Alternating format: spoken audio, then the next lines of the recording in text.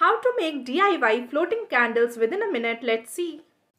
We have to take 1 cup of water, food color, floating candles, matchstick and a 2 bowls and some decorative flowers to decorate. Pour some water into 2 bowls, add some food color in it.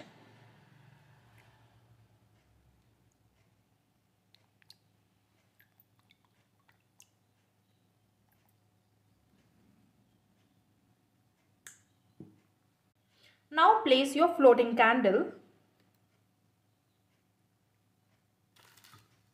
Add some decorative flowers into it.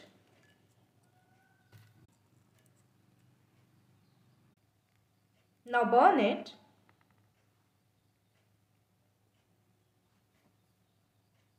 So here it is, your floating candle DIY at home so nicely decorated.